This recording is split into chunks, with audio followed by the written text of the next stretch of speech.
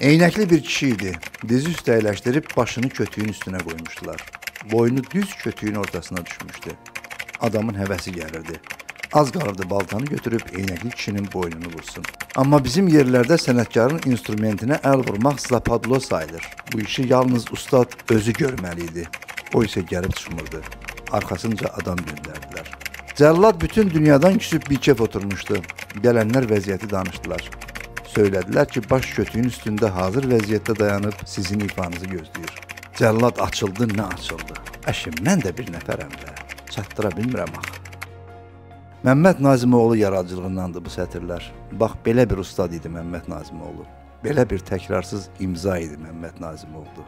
Nə yazdıqlarını oxumaqdan doyardın, nə danışdıqlarını dinləməkdən. Dünyaya doğmaların, dostların, oxucuların ruhunu oxşamaq, ruhuna sığal çəkmək və bəlkə də bir qədər təskinləşdirmək üçün gəlmişdi Məmməd Nazimoğlu. Axı bəzi ölkələrin media qanunlarında uteşat, yəni təskinləşdirmək bölümü də var. Məmməd Nazimoğlu dünyasını dəyişəndə yazmışdım ki, mənim düşüncələrimdə sadəliyin, istedadın və insanlığın vəhdətini qüsursuz şəxsiyyətində cəmləşdirən böyük insan, sədaqətli dost kimi abidələşən Məmməd Nazimoğlu haqqında yazmaq həm çətin, həm də məsuliyyət tələb edən işdir. Tarix belələrini bir də yetişdirməyəcək deyə bilmərəm.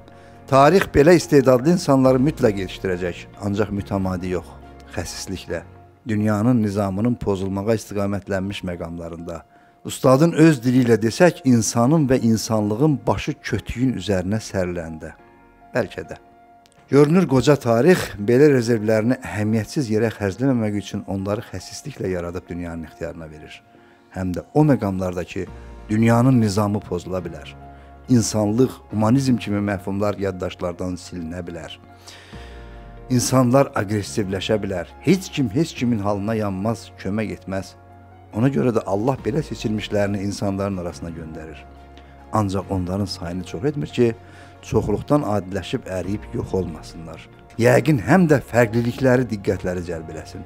Bu gün yaşamasının deyil, anadan olmasının 63 ili tamam olan Məmməd Nazimoğlunun daha çox sadə cümlələr üzərində qurulan yaradıcılığına yüngülvari bir nəzər salmaq yetər ki, onun Azərbaycan jurnalistikası tarixində təkrarsız ustadlardan biri kimi qalacağı qənaətini bölüşəsən. Bəzən biz zamanımızdakı belə peşəkar sənətinə xüsusi hörmət və zövqlə yanaşan və təbii ki, sənəti vasitəsilə ictimai fikrin formalaşmasında əvəzsiz rol oynayan insanların qiymətləndirilməsinə tələsmirik.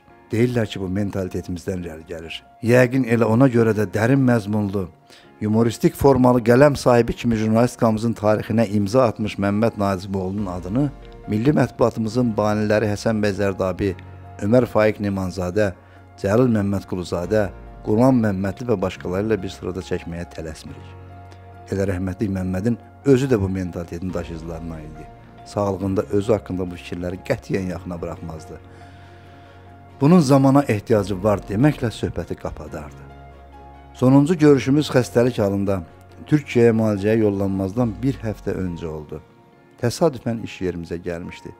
Bu dəfə də özünü ağırsız göstərməyə çalışdı. Mənim çox pərişan olduğumu görüncə yüngülcə gülümsədi. Dedi ki, sağalacağına inanır. Məni də inandırdı. Analizlərin cavablarının heç də pis olmamasına görə. Görünür həkimlər əsl həqiqəti ustalıqla ondan gizlədə bilmişdilər. Əgər belə olmasaydı, o İstanbuldan əməliyyatsız qayıtmazdı. Sonra dostlarımız, həmkarlarımız onun haqqında silsilə yazılar yazdılar sağlığında qazandıqlarını ruhuna hədiyyə kimi qələmə almaqla, həm də onu dostluğa, peşəsinə sədaqəti ilə birgə ölkə ictimaiyyətinə olduğu kimi tanıtdılar. İndi artıq dünyasını dəyişmiş Zöhrəb Əmirxanının iceberg yazısını xüsusilə xatırlayıram. Qalanı yəqin ki, tədqiqatçıların işi olacaq. Süjetin əvvəlində gətirdiyim stat da sübut edir ki, Məmməd Nazimoğlunun yaradıcılığını tədqiq etmək və jurnalistika fakültələrində tədris etməyin əsl vaxtıdır. Mirzə Cəlil Ömər Faiq Memanzadə kimi. Böyük istedad sahibi olan dostumuzun ruhuna elə böyük ehtiramla Nəzir Məmməd Zöhrablı xüsusi olaraq Qaynar TV üçün.